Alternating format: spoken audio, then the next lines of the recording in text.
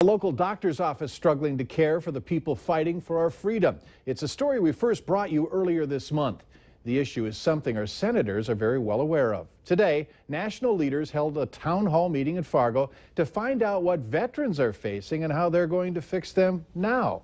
Valley News Team's Bradford Arick talks with those who'd fought to keep us safe and senators to find out what's going to be done anger, frustration, and pain. I have a, a, lower back problem that was a service connected problem. Veterans and providers say they're done with HealthNet, a third party service contracted with the VA through federal legislation. The reason? It's not working. They've changed the program in Fargo, made it more difficult for the vets here to get the services they need.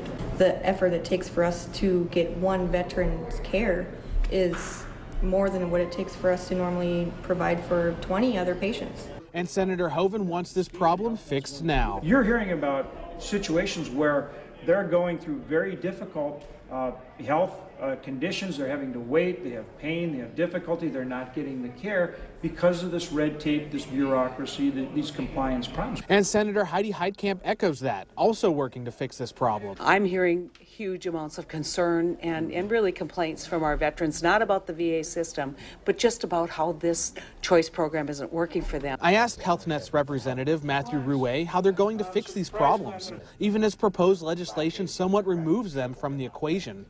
I was referred this statement, saying they're working to, quote, eliminate the current backlog of provider claims and help ensure timely payment of claims going forward. It goes on to say how HealthNet is committed to working with veterans and the VA. In the meantime, top VA officials are in Fargo, and there will be a new pilot program implemented in the near future. Bradford Arick, Valley News Live. To read HealthNet's statement in full, we've posted it online. Just visit valleynewslive.com and click on this story.